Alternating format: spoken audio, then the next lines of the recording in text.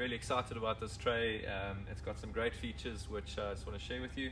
Um, what I really like about this tray is one, um, you've got really good airflow through the canopy. As you can see, all these chimneys here that allows for a lot of really good vertical uh, uh, ventilation through the tray, which dries the leaves down after irrigation. Um, the other great feature about this tray is it's got a foot at the base. So you'll see at the base here, um, you've got about 40 mils, which keeps uh, keeps the Ellepots off the off the floor of the of the table, the propagation bench, um, or the floor. So for hygiene, that's fantastic. It also allows for for good ventilation and air to get underneath and and give us that air pruning that we're after. Um, they're long life trays, hard plastic, um, should give you a good uh, five years, five to ten years lifespan.